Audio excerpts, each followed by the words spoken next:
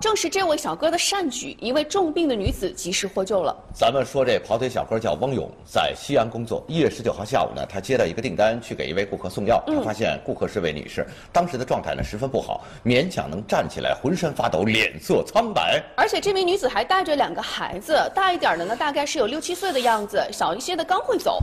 汪勇下楼以后呢，心里始终不落底，于是呢给女顾客发了短信，询问要不要带她去医院。这位女顾客很感动哈，但还是婉言谢绝了。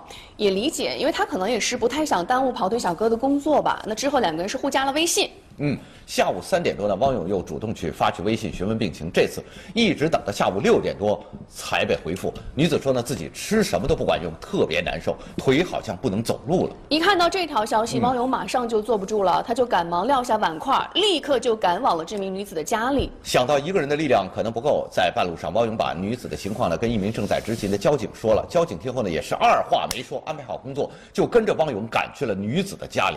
而这个时候，这名女子的下半身基本上已经没有办法活动了，而且讲话也是非常困难。年龄较大的孩子是一边哭着一边讲述了自己妈妈的病情。